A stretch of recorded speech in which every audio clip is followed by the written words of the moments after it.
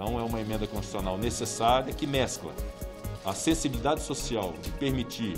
que, nesse ambiente de calamidade, de profunda tristeza nacional, possa o Estado estar presente na vida das pessoas com a instituição de um auxílio emergencial.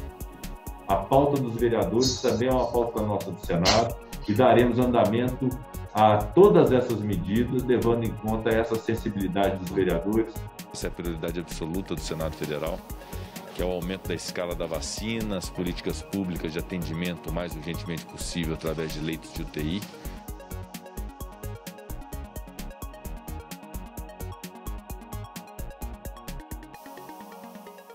É uma tristeza profunda para todos nós, senadores, para todo o povo do Estado de São Paulo, e um dia muito triste da vida nacional reforça a nossa vontade, o nosso desejo de vencermos essa pandemia, que levou o Major Olímpio levou tantos brasileiros que igualmente choram a perda,